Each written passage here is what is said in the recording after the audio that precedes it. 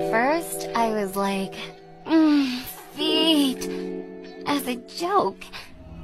But bro, I don't think it's a joke anymore.